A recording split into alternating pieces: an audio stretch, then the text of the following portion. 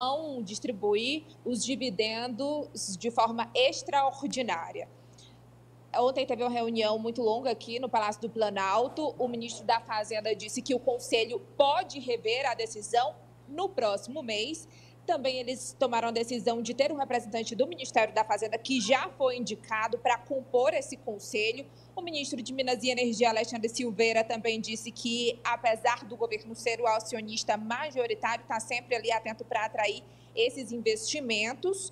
E o presidente da República, Lula, em entrevista ao SBT, realmente ele aumentou o tom, falando que não pode se pensar apenas nos acionistas e classificou esses acionistas como dinossauros ferozes.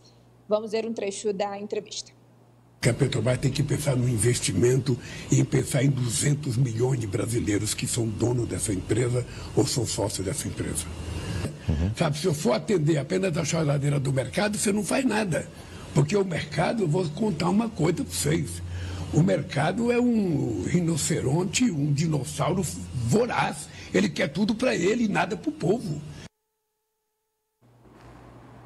Adeu, mas de acordo com o próprio presidente da Petrobras, Jean Paul Prats, não é possível usar esse dinheiro, por exemplo, para pagar dívida, né, que são é, no valor de 49 bilhões de reais. E o governo tem um plano que ele chama de neoindustrialização, que tem como foco ampliar as refinarias, como é o caso da Abreu e Lima, também é, criar no Brasil um polo da indústria naval, atrair investimentos nessa área e também para a área de fertilizantes. Então, esse dinheiro também deveria, de acordo com o presidente, deveria ficar uma parte para investimentos e investimentos seriam destinados exatamente para essa